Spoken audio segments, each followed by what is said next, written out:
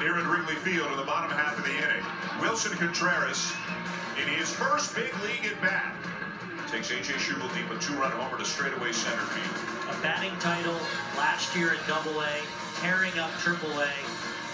No, no matter what level you go to and no matter what emotions you're dealing with, it's very comforting when you get in the box and you can hit.